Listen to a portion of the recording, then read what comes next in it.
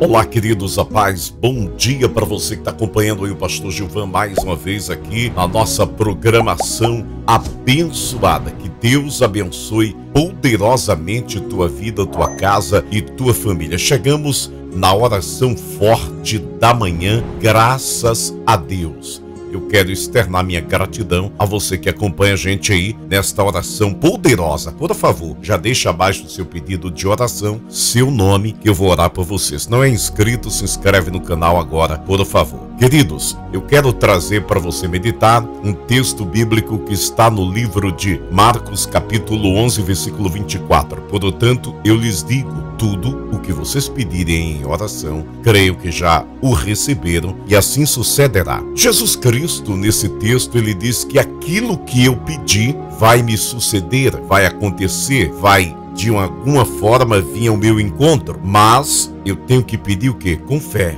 Tudo que pedirem com fé e pedirem em oração a Deus. Neste versículo, Jesus ele enfatiza a importância da fé na oração. Tem muita gente que ora, mas pouca gente ora com fé. Por isso que você vê poucos milagres acontecerem. O que é que é pedir com fé? Acreditando que já recebeu aquilo que está pedindo, tá entendendo? É o que Jesus nos orienta. Ele diz que a cada oração você faz com fé, ela será o que? Atendida. A certeza de que nossas petições já foram atendidas. Ele diz mais, demonstrando confiança inabalável em Deus. Porque quando eu peço com fé, eu mostro que eu estou confiando que Deus vai fazer. E é esse o motivo que Deus faz. Deus diz: meu filho não vai se decepcionar, porque ele está acreditando em mim. Você está entendendo? Deus honra a palavra dele quando você acredita nela, mesmo que seja de uma forma invisível, mas que você acredite. Esse é o segredo de que muita gente é abençoado, recebe milagres e outros não. Então eu quero que você prepare-se agora, mas prepare com fé. Algo que você vem já batendo nessa tecla, só que agora vai ser diferente. Você vai fechar os olhos e vai se concentrar naquilo que você está pedindo e visualizar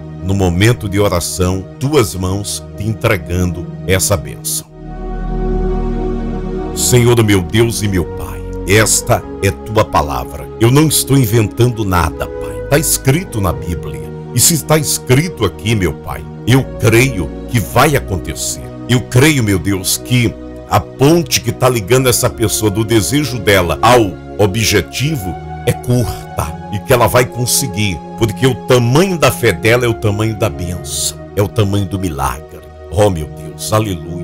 Eu creio, meu Deus, que as portas vão se abrir. Eu creio, meu Pai, que o carro vai vir. Eu creio que a moto vai vir para essa pessoa que está pedindo. Eu creio, meu Deus, que a casa própria vai vir para tua filha que está batendo na tecla. Eu creio nisso, porque é a fé que faz com que essa pessoa visualize agora, meu Deus.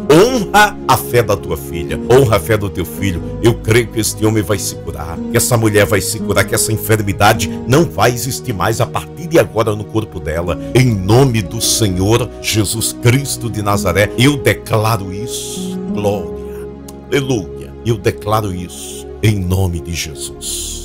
Diga amém, diga eu creio, recebo e agradeço em nome de Jesus. Bom dia para você na presença do Deus de Abraão, Deus de Isaac e Deus de Jacó.